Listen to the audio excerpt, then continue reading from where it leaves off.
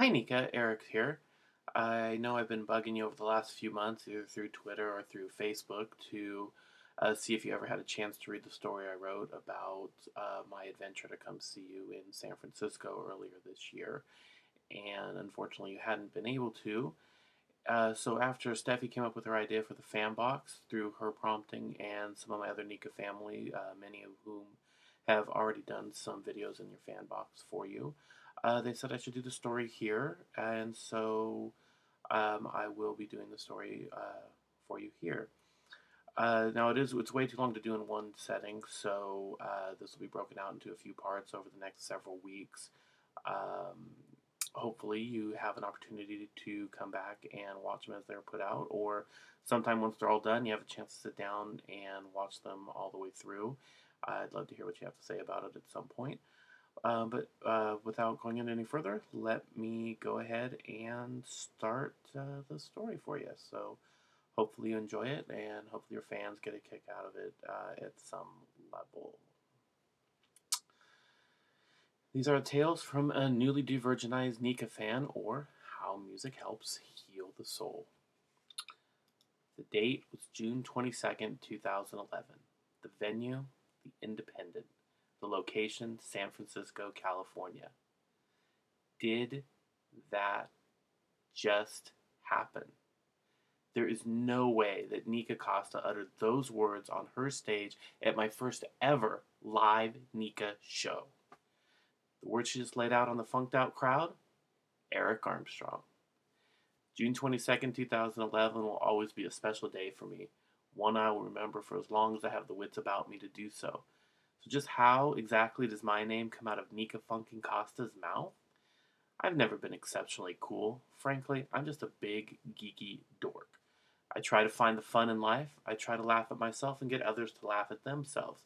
I try my best to navigate this life and help me and my kids make sense of a world turned upside down by personal pain and loss. Gee, that's great, Eric, but we don't care about that. We just want to know how about how cool the show was and how your name came to be stated on stage. All right.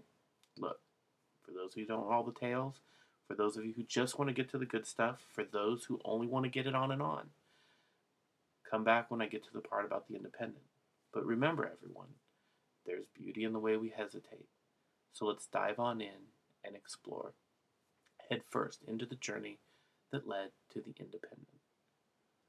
My early history with Nikka. I discovered Nikka around the release of her 2005 album Can't Never Did Nothin'. Now, you would think with this tale, I would remember exactly how I got turned on to her, but I can't. I don't recall if a friend suggested it. I don't recall if I just got off a CD club at the time. I don't recall if I just liked the album cover. But what I do recall is being mesmerized by the opening wow. Wow!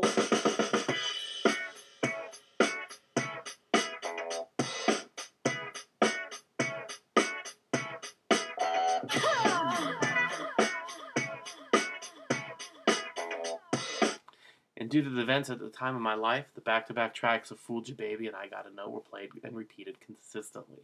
And after that, I would just let the disc run over and over again. I cannot express how much I love this disc. After a bit of time, I wanted to see if there's anything else out there. What? She had a disc that came out in 2001? How'd I miss this? I searched a bit for it, couldn't find it, figured, oh well, I'll follow her, check out her next album she puts out, try to catch her at a show. Then, as tends to happen, even with those discs and songs that you love so much, you do eventually listen to something else.